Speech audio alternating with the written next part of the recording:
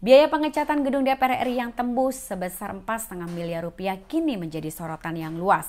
Informasi ini muncul saat heboh pengadaan gorden senilai 43, miliar rupiah belum terjawab secara jelas oleh pihak DPR.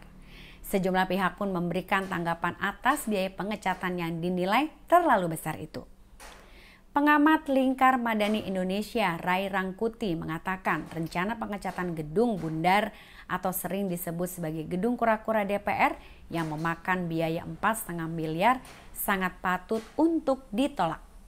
Dan oleh karena itu, Rai mengatakan sudah semestinya dalam masa menunggu hasil audit tersebut haruslah ada moratorium segala bentuk pengadaan di gedung DPR.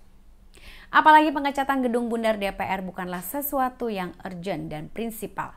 Lebih lanjut, Ray juga menegaskan semasa audit tersebut dilakukan sudah semestinya ada evaluasi pengadaan di dalam internal DPR. Tidak hanya itu saja, Ray juga menyentil Ketua DPR Puan Maharani terkait hal ini. Ia berharap Puan benar-benar memberi perhatian yang cukup dengan masalah ini.